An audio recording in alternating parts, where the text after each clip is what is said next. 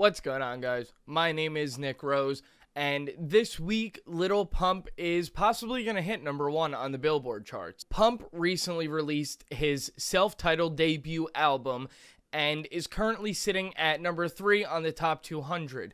The album includes a bunch of really big singles so far, like Gucci Gang. Ooh. Rather go and buy ball mains. Gucci Gang, Gucci Gang, Gucci Gang. Gucci Gang, Gucci Gang, Gucci Gang, Gucci Gang, Gucci Gang, Gucci Gang, Gucci Gang, Gucci Gang. Gucci Gang. Spent three racks on new chain. D Rose.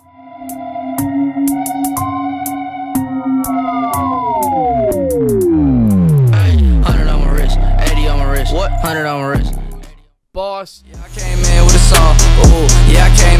Saw. Ooh, bitch, I flare red Ross. Yeah, bitch, I flare red raw. Yeah, walking the trail like a boss. Boss.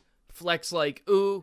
Ronnie. Hey, moving in bricks, had a bound like ooh. Moving in bricks, had a bound like ooh. Diamond on my wrist ain't look like glue. Diamond on my wrist ain't look like glue. Walk in the club and I flex like ooh. Ooh, and a couple other songs that we all know and have heard so far. He's also managed to get some really, really big features from some pretty famous artists like Rick Ross, Chief Keef, Two Chains, and of course Gucci Mane, because what would a trap album be without Gucci Mane? Anyways, like I said, he's currently stuck at number three on the charts with Tom Petty and the Heartbreakers' greatest hits at number two, which is mostly due to Tom Petty's death, I'm sure. And then we have NF with his debut album Perception at the number one spot, which was actually extremely unexpected for me. I really only heard of this guy a couple months ago, to be honest with you guys.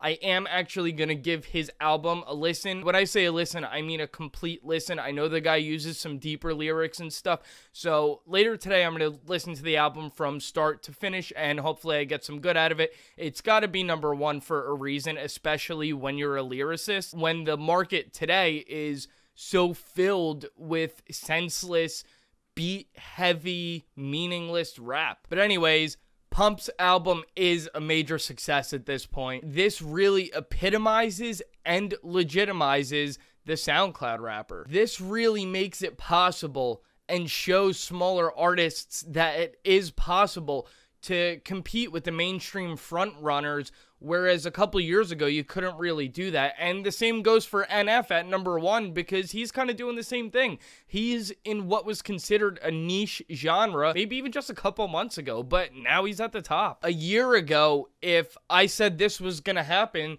nobody would have believed it. They all pretty much would have laughed in my face.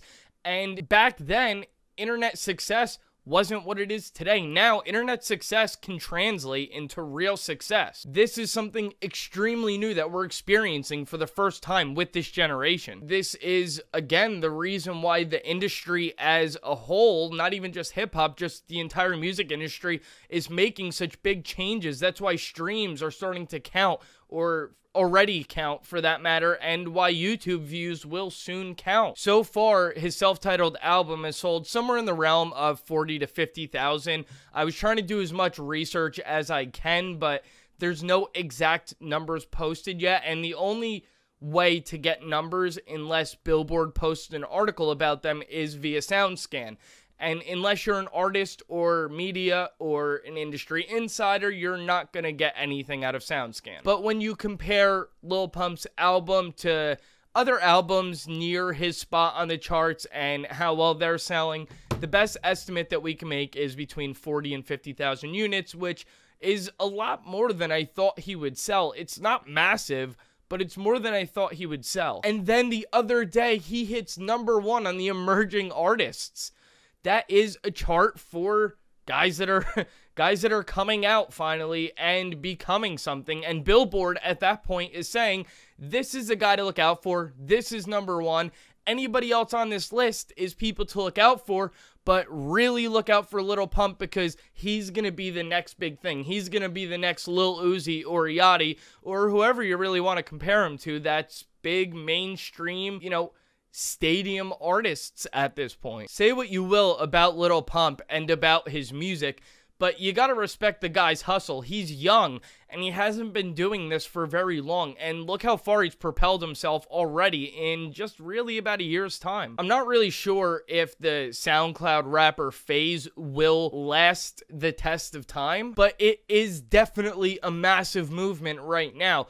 And at some point in time, when this first really started happening, the whole SoundCloud rapper thing, it looked like XXX Tentacion was going to be the face of SoundCloud rap. But now that we see Little Pump making his debut and getting the success that he's getting, that might change. He's definitely right there with him. And I think XXX Tentacion's antics and his shaved eyebrows kinda seem to be dragging him down a little bit. And because of that, I believe that it's paving a clear path for Lil Pump to make it right to the top. Let me know what you guys think down in the comments. I'm curious to get your opinions whether or not you think SoundCloud rap will last and whether or not you think Lil Pump will be a fart in the winter if the dude's gonna keep going. Don't forget to like and subscribe. Peace.